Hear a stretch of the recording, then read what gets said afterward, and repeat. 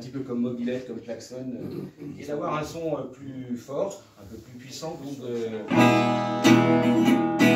de jouer dans des orchestres de jazz.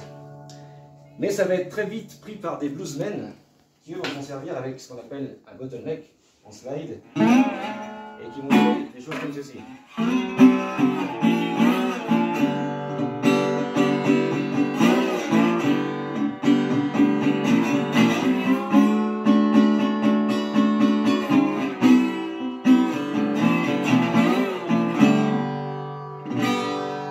Par exemple White en haut, Sonahouse à droite, voilà des bluesmen des années 30, 40, qui vont beaucoup utiliser ces guitares à résonateur.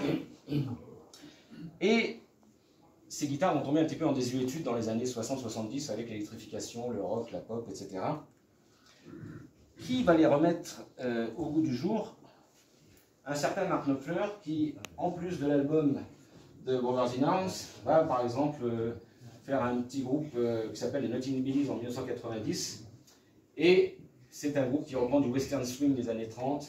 Forcément, c'est la guitare emblématique de, de, ce- de cette musique-là. Et ils posent tous avec des guitares euh, nationales euh, en- sur la photo.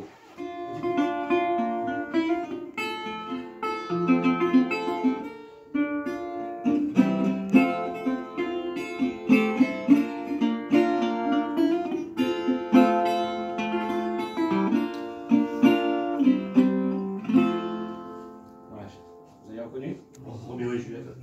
Merci. Bon, c'est euh, c'est que je ne joue pas trop mal. Euh, donc effectivement, Roméo et Juliette en 1980 sur l'album Making Movies euh, est joué sur cette guitare-là. Et euh, déjà dès le premier album de Dire Straits, chaque album de Dire Straits comporte au moins un morceau avec cette guitare-là. Euh, pour ceux que ça intéresse, je vous donnerai le lien après euh, sur euh, mon blog. Voilà, j'ai fait un article euh, détaillé sur cette guitare qui recense tous les morceaux de la discographie de Straits et de Mark Knopfler sur lesquels on peut entendre cette guitare.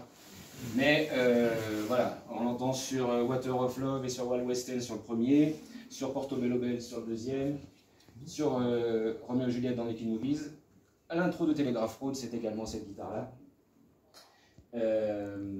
Et justement, on va donc écouter un petit bout de The Man's Too Strong.